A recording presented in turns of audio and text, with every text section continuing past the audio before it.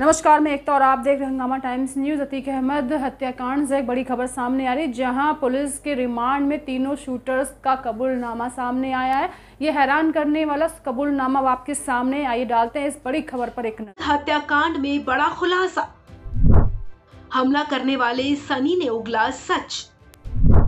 बताया, इस गैंग से लिए थे हथियार। अतीक अहमद और उसके भाई अशरफ की हत्या मामले में शूटर सनी ने पुलिस कस्टडी में बड़ा खुलासा किया है। सूत्रों के हवाले से मिली जानकारी के मुताबिक सनी ने बताया कि इन तीनों को दिल्ली के जितेंद्र गोगी गिरोह के संपर्क से हथियार मिले थे। आपको बता दें कि सितंबर 2021 में जितेंद्र गोगी की रोहिणी कोर्ट में हत्या कर दी गई थी। जितेंद्र हमेशा से ही लॉरेंस बिश्नोई का बेहद खास था। कानपुर का बाबर भी इसी गैंग से जुड़ा था। बाबर के ज़रिए ही ये तीनों लोग गोगी गैंग के संपर्क में आए थे। जानकारी के मुताबिक जितेंद्र गोगी गैंग इन तीनों आरोपियों से एनसीआर में एक बड़ी घटना करवाना चाहता था। एनसीआर कनेक्शन के चलते ही अतीक पर हमला करने वाले तीनों आरोपियों को गोगी गैंग ने एनसीआर चैनल की आईडी, बड़ा कैमरा और आईडी कार्ड इन्हें दिया था। गौरतलब है कि तीनों हमलावर नकली मीडिया कर्मी बनकर पहुँचे थे। इससे पहले पुलिस के सामने अतीक को गोली मारने वाले तीनों आरोपियों ने कबूल किया था कि वो लॉरेंस बिश्नोई के जैसा बनना चाहते हैं। उन्होंने बताया कि अस्पताल में पुलिस पर गोली चलाने का उनका कोई प्लान नहीं था। तीनों मरने नहीं आए थे, इसलिए सरेंडर कर दिया। बता दें कि सनी सिंह के अपराध का कनेक्शन यूपी के कई जिलों से भी मिल रहा है।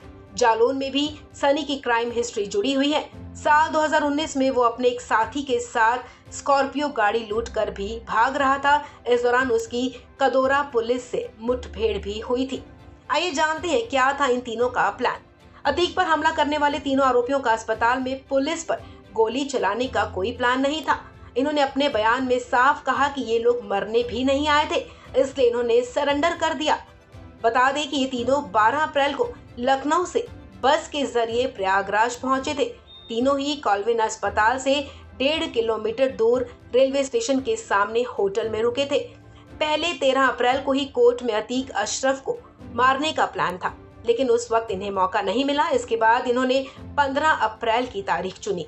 15 अप्रैल को दिन में इन्होंने कॉलविन अस्पताल की रैकी की, दो नए मोबाइल भी खरीदे, लेकिन इन्हें सिम कार्ड के लिए फर्जी आईडी नहीं जुटा पाए। अतीक और अशरफ को गोली से उड़ाने के बाद डर पर काबू पाने के लिए इन तीनों ने जय श्री राम के नारे भी लगाए।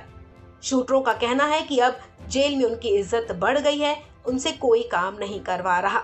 आपको बता दें कि अतीक अहमद और उसके भाई अशरफ की मेडिकल के लिए ले जाते समय गोली मारकर हत्या कर दी गई थी। इस मामले में तीन लोगों को गिरफ़्तार किया गया था। फ़िलहाल तीनों हमलावर पुलिस के रिमांड में हैं।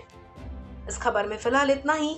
तमाम अपडेट्स के लिए आप बने रहें वन इंडिया हिंदी के साथ।